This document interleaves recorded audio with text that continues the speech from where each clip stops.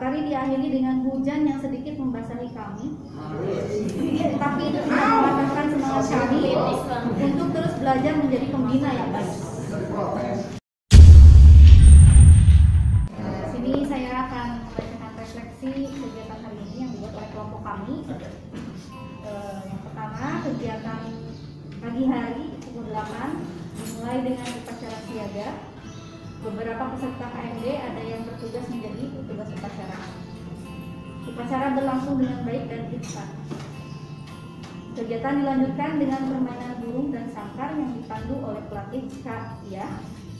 Peserta sangat antusias dan terlihat aktif dalam permainan.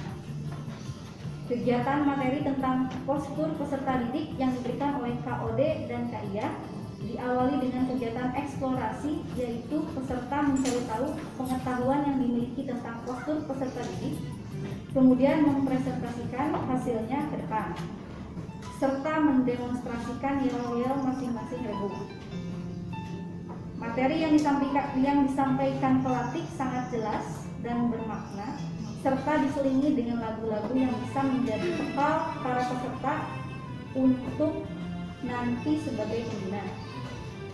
Pada sesi materi 2, postur pembina, materi disampaikan oleh pemateri dengan jelas, peserta dapat menyimak dengan baik. Kemudian kegiatan dilanjutkan dengan materi yang disampaikan oleh Kak Syarif dan Kak Ode tentang macam-macam tanda pengenal pada pramuka. Setelah kami memperhatikan dan menyimak materi tersebut, Alhamdulillah sedikit demi sedikit kami mulai memahami materi tersebut. Ternyata banyak sekali jenis-jenisnya.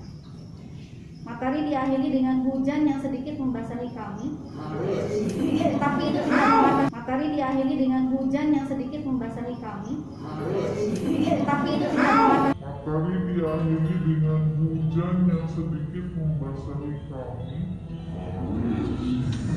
Tapi itu tidak Materi diakhiri dengan hujan yang sedikit membasahi kami, tapi itu tidak mematahkan semangat kami untuk terus belajar menjadi pembina yang baik.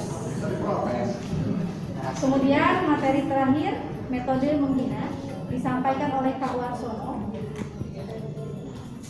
Eh, terima kasih kepada kakak-kakak pembimbing semua yang telah membimbing kami hingga kami mulai mengetahui tentang apa itu pramuka dan menyukai pramuka.